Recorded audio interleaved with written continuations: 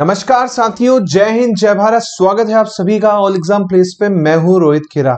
दोस्तों, बहुत ही बड़ी खुशखबरी की बात है। जी हाँ खुशखबरी की बात है। पूरी पूरी 2000 भर्तियाँ आई हैं हमारी एसीआईओ की। यानी आईबी में कितनी? 2000 भर्ती। इस वीडियो में मैं आपको बताऊँगा कि इस भर्ती को भरने के लिए आपको क्या क्या होना चाहिए, एज कितनी होनी चाहिए कितने पद हैं टोटल क्या होगा सिलेबस क्या होगा, पूरा का पूरा इस वीडियो में आपको निचोड़ मिलेगा। तो वीडियो को शुरू से आखिरी तक ज़रूर देखिएगा। चलिए शुरू करते हैं, देख सकते हैं आप। ये देख सकते हैं, पूरा का पूरा डिटेल नोटिफिकेशन आया हुआ है। मैं इसको बहुत अच्छे से बारीकी से समझाऊँगा। एसीआईओ का। उसके पहले उसके पहले मैं आपको बता दूँ कि आप हमारा ऐप डाउनलोड कर सकते हैं, जिसमें आपको यहाँ पर टेस्ट सीरीज़ मिल जाएँगी। पेड कोर्सेज मिल जाएँगे, फ्री कोर्सेज मिल जाएँगे, इसके अलावा वीडियो लेक्चर मिल जाएँगे तो आप हमारा ऐप ज़रूर डाउनलोड ज़रूर कीजिए और चैनल को हमारे सब्सक्राइब भी कीजिएगा। चलिए तो सबसे पहले बात करते हैं इंटेलिजेंस ब्यूरो की आईबी की। आईबी में एसीआईओ की जो पोस्ट होती है, उसकी वैकेंसी आ चुकी है। Assistant central intelligence officer grade two की, है ना? उसका एग्ज़ाम होगा। क्या है इसमें? ये देखिए आप। जर्नल में नौ सौ नवासी पोस्ट है। नौ सौ नवासी। ईडब्ल्यू एस की 113 ओबीसी की 417 एससी की 360 एसटी की 121 टोटल पोस्ट आप देख सकते हैं 2000 2000 भर्तियाँ टोटल आई हुई हैं। इसी प्रकार पे स्केल की बात करूँ तो सातवां पे स्केल लगेगा चौवालीस हज़ार नौ सौ से एक लाख बयालीस हज़ार चार सौ के बीच में आपकी रहेगी। इसके अलावा स्पेशल सिक्योरिटी अलाउंस मिलेगा, बीस परसेंट, है ना? कैश कंपनसेशन भी मिलेगा ड्यूटी में, है ना? तीस दिन का जो रहेगा उसमें, पूरा का पूरा वो तो आप जब डिटेल देखेंगे इसकी तो आपको पूरा समझ में आएगा, ये आपको दे रखा है। इसके अलावा आप देख सकते हैं इसमें ग्रेजुएशन चाहिए।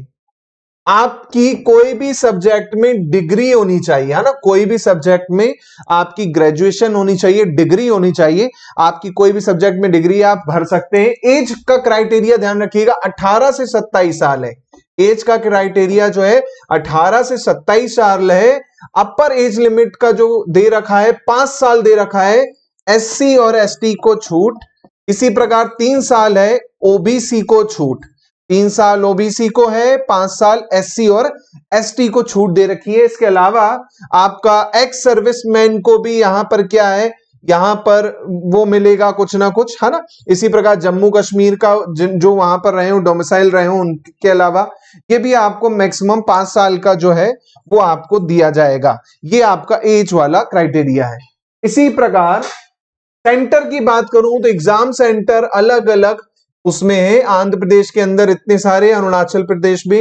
जैसे हम मध्य प्रदेश की बात करें तो मध्य प्रदेश में इसका सेंटर देख सकते हैं। भोपाल है, ग्वालियर है, इंदौर है, जबलपुर है, उज्जैन है। ऐसे ही अगर आप राजस्थान के हैं बच्चों तो राजस्थान का भी आप सेंटर देख सकते हैं। राजस्थान का भी आप सेंटर देख सकते हैं। अजमेर, बीकानेर, जयपुर, जोधपुर, उदयपुर, यहाँ पे एग्ज़ाम हो सकता है। आप अगर यूपी से हैं यूपी का भी आप देख सकते हैं सेंटर तो सभी का आपको यहाँ पर सेंटर दिया हुआ है, जो जो आपके वहाँ के स्टेज है, पूरा दिया हुआ है। इसके अलावा आपका एग्ज़ाम पैटर्न की बात करूँ एग्ज़ाम पैटर्न कैसा है भाई साहब इसका? एग्ज़ाम पैटर्न क्या होने वाला है? तो भाई साहब टायर वन एग्ज़ाम जो कि ऑनलाइन होगा, उसमें 100 क्वेश्चन होंगे। कितने क्वेश्चन है टोटल 100 क्वेश्चन है टायर वन एग्ज़ाम में। एमसीक्यू होंगे, पाँच पार्ट में बांटे जा रहे हैं 20-20 क्वेश्चन होंगे टोटल पाँच पार्ट में 20-20 क्वेश्चन बांटे जा रहे हैं पेपर एक घंटे का होगा, कुल मार्क्स होंगे सौ। पाँच सेक्शन कौन कौन से? पहला है जर्नल अवेयरनेस का। दूसरा क्वांटिटिव एप्टीट्यूड यानी मैथ्स का सेक्शन। तीसरा न्यूमेरिकल एनालिसिस, लॉजिकल एबिलिटी यानी रीजनिंग का सेक्शन। चौथा इंग्लिश लैंग्वेज, अंग्रेज़ी आएगी भैया। है ना, बीस क्वेश्चन फिर है जनरल स्टडीज़ आपका हिस्ट्री ज्योग्राफी ये सब रहेगी. इसके अलावा महत्वपूर्ण बात बता दूँ, एक चौथाई की नेगेटिव मार्किंग है. वन फोर्थ की नेगेटिव मार्किंग भी यहाँ पर है. माइनस मार्किंग है ऋणात्मक मार्किंग है वन फोर्थ की. यानी चार क्वेश्चन गलत करोगे तो एक मार्क्स कटेगा आपका. इसी प्रकार टायर टू एग्ज़ाम में डिस्क्रिप्टिव टाइप पेपर होगा. रिटर्न पेपर होगा जिसमें 50 मार्क्स का होगा. ऐसे होगा 30 मार्क्स का और कॉम्प्रिहेंशन होगा और आपका प्रिसाइज राइटिंग होगी 20 मार्क्स की। टोटल कितना होगा ये भी? एक घंटे का और 50 होगा। इसी प्रकार आपका इंटरव्यू होगा टायर थर्ड में। इंटरव्यू होगा 100 मार्क्स का। इंटरव्यू के बाद भी नोट में पढ़िएगा। साइकोमेट्रिक टेस्ट साइकोमेट्रिक टेस्ट होगा इंटरव्यू के बाद। तो कुल मिला के देखा जाए तो यहाँ पर चार चरण हो जाएँगे। पहला आपका ऑब्जेक्टिव ऑब्जेक्टिव 100 क्वेश्चन इसी प्रकार आपका फिर क्या होगा? डिस्क्रिप्टिव 50 मार्क्स का, फिर आपका इंटरव्यू होगा 100 मार्क्स का। इंटरव्यू के बाद क्या होगा आपका? है ना साइकोमेट्रिक टेस्ट होगा। है ना, जो इंटरव्यू में अपेयर करेंगे उनका साइकोमेट्रिक टेस्ट होगा। तो ये भी आपका होगा। तो ये चीज़ हो गई। इसी अलावा सिलेक्शन प्रोसेस इजी है। टायर वन में तीन सेंटर अलॉट होंगे। अपनी चॉइस के आपको भरने, कि आप कहाँ से भरना चाहते हैं, तीन सेंटर रहेंगे। इसी प्रकार वन फोर्थ की बोला नेगेटिव मार्किंग रहेगी। अनअटेम्प्टेड में कोई मार्क्स नहीं होंगे। क्वेश्चन छोड़ दोगे, कोई दिक्कत नहीं, लेकिन गलत करोगे तो एक चौथाई कटेगा आपका। इसी प्रकार कट ऑफ़ बनाया जाएगा, है ना? जो भी मेरिट के बेसिस पे रहेगा।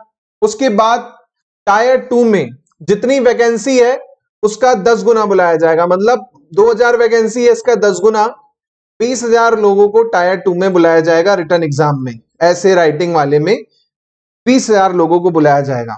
उसके बाद फिर टायर वन और टायर टू के बेसिस पे मतलब आपका 100 मार्क्स और 50 मार्क्स दोनों को जोड़ेंगे 150 मार्क्स में से आपकी मेरिट बनाई जाएगी।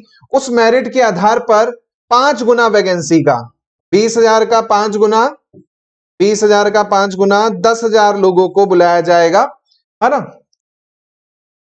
Five time of number of vacancy है ना? कितना?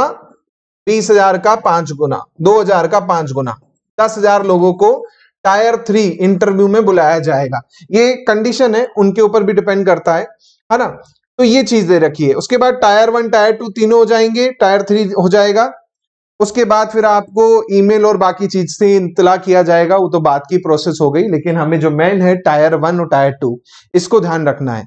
ठीक है? तो ये आपका दे रखा है। इसके अलावा आप अप्लाई कैसे कर सकते हैं? साइड है बच्चों डब्ल्यू डब्ल्यू मैं लिख देता हूँ यहाँ पर W W dot M H A dot government dot in ये साइड है। इस साइड पे एप्लीकेशन डाल सकते हैं। इसके अलावा W W N C S dot government dot in ये साइड है एक। ये दो साइड है। इसमें आप एप्लीकेशन डाल सकते हैं। कब से एप्लीकेशन चालू होंगे? 19 बारह। यानी कल से एप्लीकेशन चालू हो जाएँगे 19 बारह 2020 से। कब तक चलेंगे? 9 एक 2021 तक। 9 जनवरी तक चलेंगे इसके एप्लीकेशन उसके बाद कोई वो नहीं होगा। अब बात आती है, सर फ़ीस कितनी है? महँगी तो नहीं है। बिल्कुल महँगा नहीं भाई साहब। फ़ीस की बात करूँ, केवल सौ रुपए फ़ीस है। है ना? एग्जामिनेशन फ़ीस है और रिक्रूटमेंट चार्जेस है पाँच सौ रुपए। है ना? टोटल आपका छह सौ रुपए टाइप का फ़ीस रहेगी इसमें। है ना? सौ रुपए with five hundred total six hundred fees है देखा जाए, इसको आप ऑनलाइन ऑफलाइन मोड दोनों से क्या कर सकते हैं? पे कर सकते हैं। कोई दिक्कत नहीं, आसानी से फॉर्म भर सकते हैं।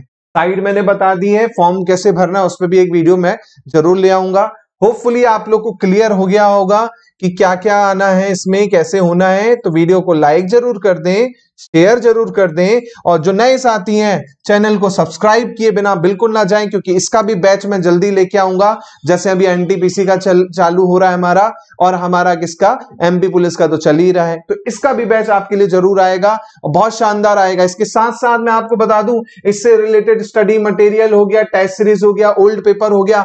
आप हमारे ऐप पर जाके भी डाउनलोड कर सकते हैं। वहाँ पर ये पूरे अपलोड कर दिए जाएँगे। प्रीवियस ईयर के पेपर फ्री ऑफ़ कॉस्ट कोई चार्जेस नहीं।